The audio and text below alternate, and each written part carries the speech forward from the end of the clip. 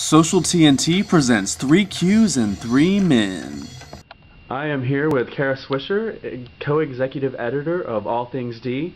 Um, Kara, so All Things D is published by the Wall Street Journal, Like Dow Jones, uh huh. um, but is truly a separate web-based entity. Yes, yeah. Um, how do you feel? Uh, what are some of the benefits of being new media?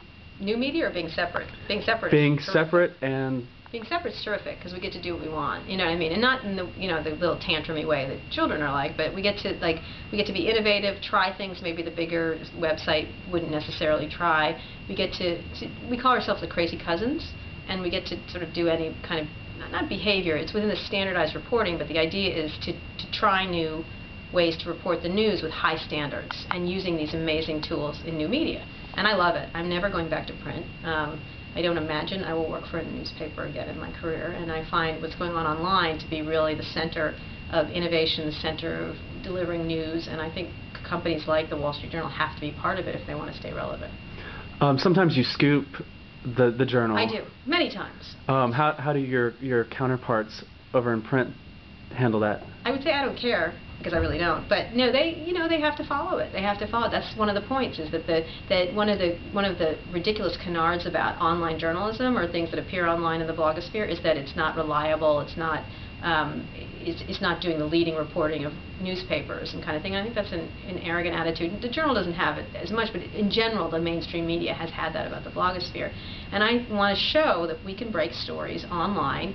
It doesn't have to be in the newspaper. It doesn't have to be in some august institution of greater newspaperness. Um, that we can do this thing in a very uh, in a very um, fast-moving way, and that's also very exciting for people. And um, when I learned about it is when we broke the America Online Time Warner merger online. We didn't have time to get it in the paper because it happened in the middle of the night, and we did it all online, and it was very powerful to me, a powerful moment for me. That you didn't need the newspaper to deliver the news, because what the Wall Street Journal represents is not a newspaper. It represents really great information done in a really beautiful way, and delivered in a beautiful and, and informative way.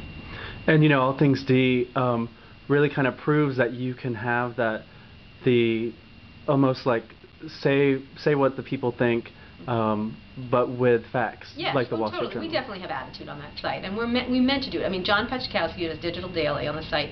It's like the Jon Stewart of tech news, kind of. He's delivering the tech news, and he does that arched eyebrow, Mhm. and we know we know exactly. I mean, he's he, he's a personality, and we want to do that. At the same time, he's a really great reporter, and he's smart, and so you're not getting you know just someone just mouthing off.